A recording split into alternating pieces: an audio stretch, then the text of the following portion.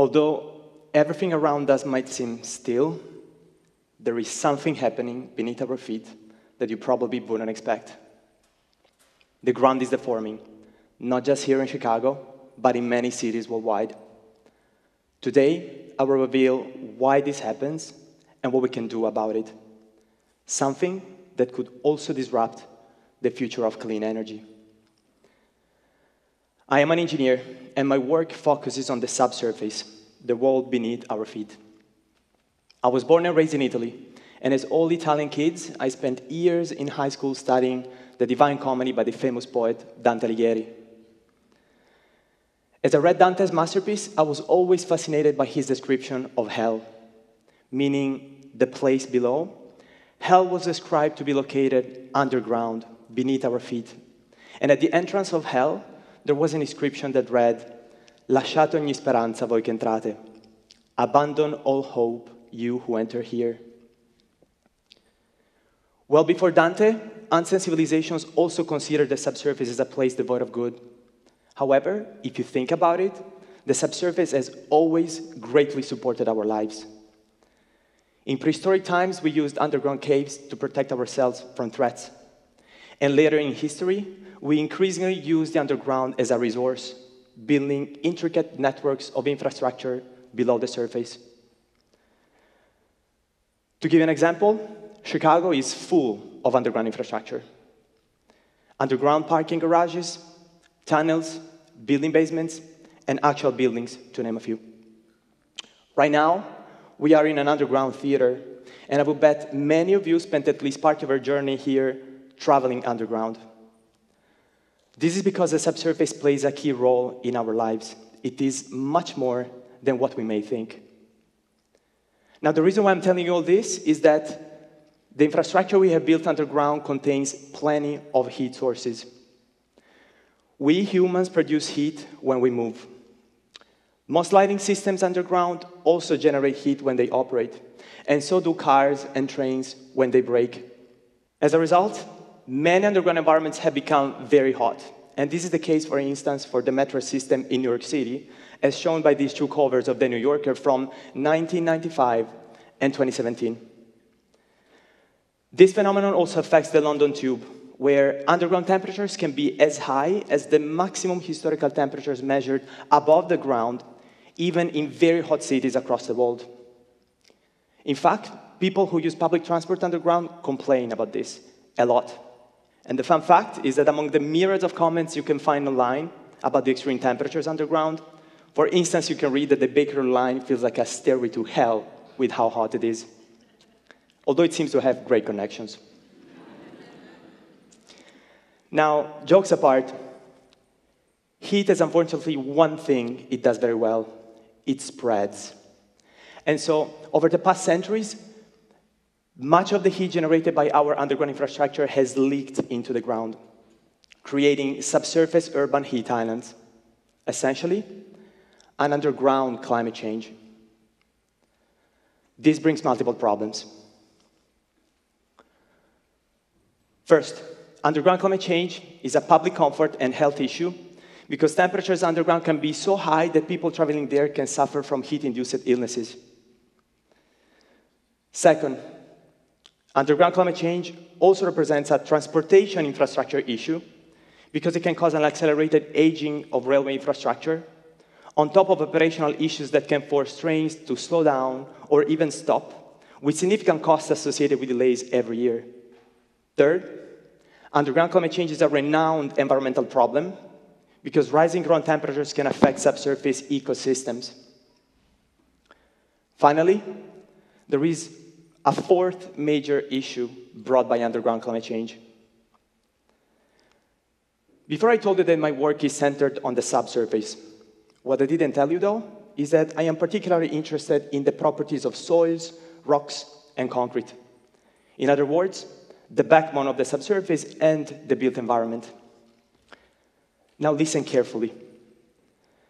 As you might expect, when you heat up concrete, rocks, and some soils, they expand.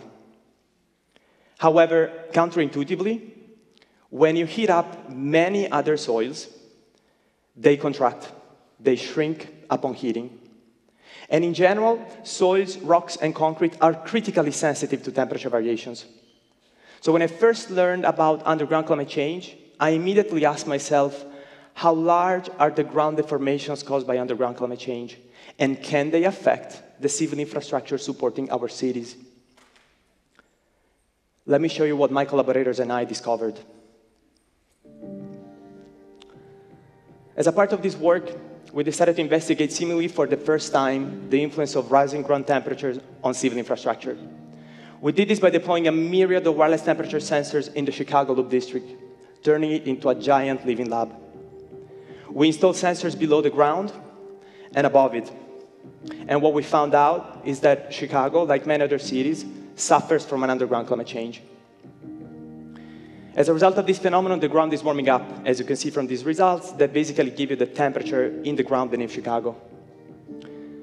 As the ground warms, it undergoes deformations, which can be expansive and contractive. Per se, these deformations develop slowly, but continuously over time. And the problem is that none of our buildings were designed to handle them.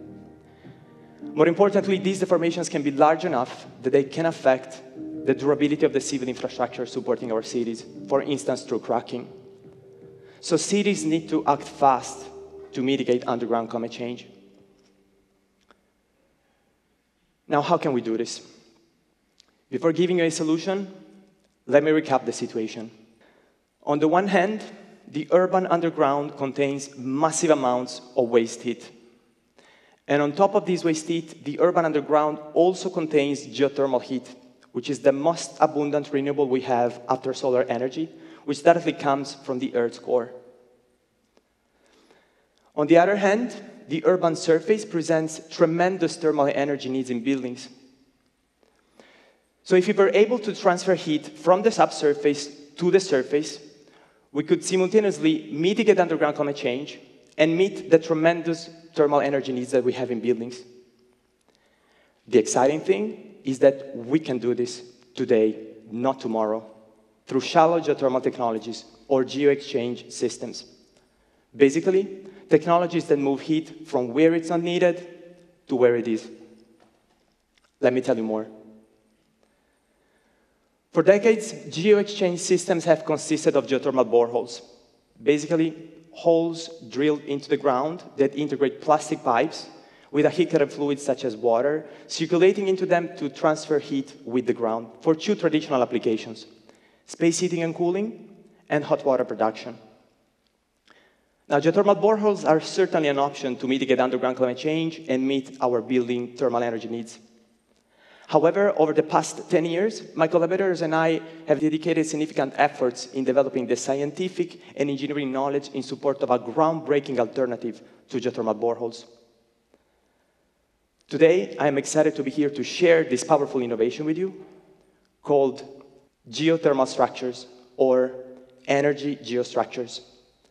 Basically, all kinds of underground constructions you can think of turned into clean thermal energy sources here is what energy geostructures look like in new constructions. As you can see from this photo, that basically shows you a typical reinforcing cage of a building foundation, energy geostructures transform building foundations into clean thermal energy sources by integrating the same plastic pipes that we have embedded for decades in geothermal boreholes for the ultimate aim to exchange heat with the ground. The same principle applies to this foundation, to this wall, to this component of an underground tunnel, and to this slab.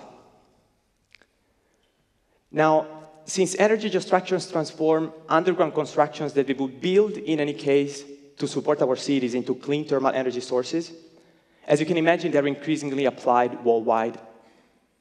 However, let me return to what I noted earlier traditional energy structures were only applicable to new constructions, not existing ones. So what about all the existing buildings and infrastructures that characterize Chicago and other cities in developed countries worldwide, which are obviously not going to be replaced anytime soon, and constitute approximately 98% of the constructions that we have around us? I'm proud to say that I have invented a technology, first of its kind, that has made energy geostructures applicable to all kinds of existing constructions. Here it is.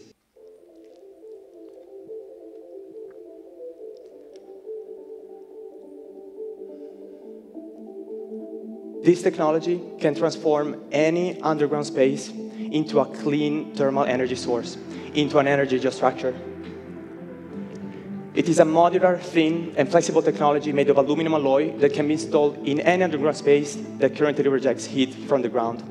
Easy to install and maintain, and providing plenty of opportunities to be customizable in underground parking garages, tunnels, and underground malls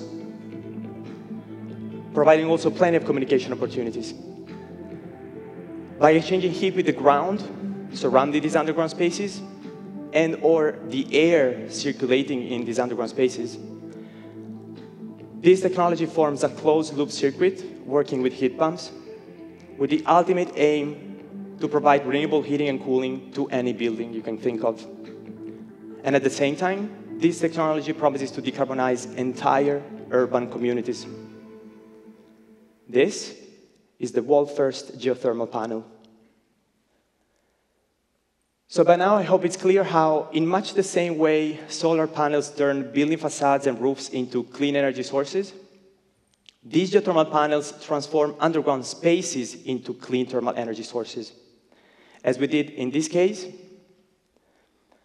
and in this case. Now, here are a few further metrics about this technology.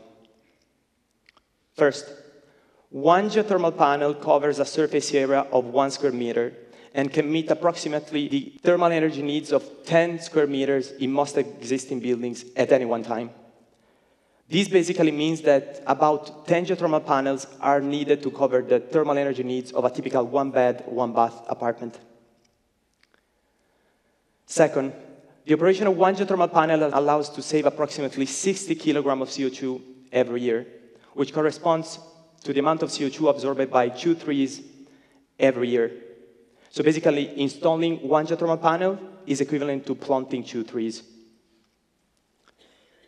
Third, these geothermal panels can meet up to 100% of the thermal energy needs of buildings. More importantly, they can do so by harnessing renewable geothermal heat and the waste heat that is driving underground climate change, representing the cure for this phenomenon. To conclude, Dante Alighieri and many others have long imagined that the subsurface hosted hell. And in our own way, we have turned that into a reality. However, the subsurface not only hides the threat of underground climate change, it also provides the massive opportunity to harness substantial amounts of clean thermal energy for our buildings. This can be done through energy geostructures another set of technologies readily available to tackle our warming world. So unlike Dante, I consider the subsurface as a land of untapped potential and opportunities. In fact, dare I say, the subsurface is a hell of a place. Thank you.